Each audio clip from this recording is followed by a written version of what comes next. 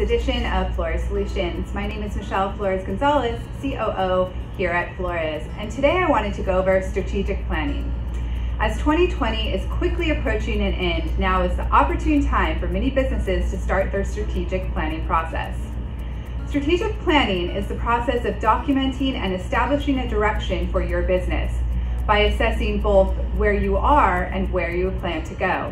It gives you a place to record your mission, vision, and values, as well as the action plan you will use to reach them.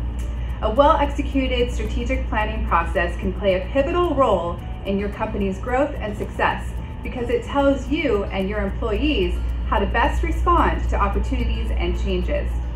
Perhaps this year is one of the most crucial to execute a strategic planning session with your team, especially given the fact that we are going through one of the most unprecedented and challenging years with COVID-19.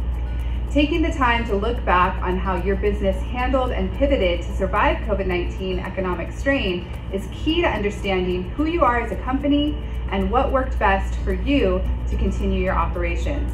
The business impact of COVID-19 is far from over, and thus the strategic planning process is essential to ensuring you survive and succeed the inevitable challenges still yet ahead. So what are the elements that need to be covered during your strategic planning process? Number one, clarify and set your vision.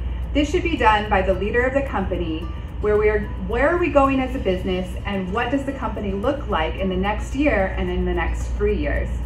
Number two, evaluate your mission and purpose. Why do we exist? Who are our new customers that we serve? This is a good time to conduct a SWOT analysis on your company. Number three, determine your priorities. What do we need to focus on to achieve our vision? Number four, action planning. Set measurable plans and action items to in place to get the results.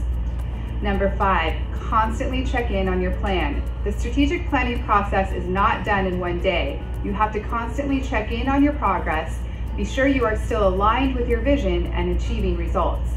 Be able to pivot and realign when outside factors shake your original plan. Regardless of the size of your company, a strategic plan is beneficial. It is a powerful communication tool to use directly with your team that sets a clear plan to make sure the company is headed in the right direction. A quote I personally use each year with our team to set the tone of strategic planning is as follows. A dream written down with a date becomes a goal, a goal broken down into steps becomes a plan, and a plan by, by, backed by action becomes reality. I think this quote sums up the value of strategic planning. It is crucial to continued success. If you need assistance with your planning process, give us a call today.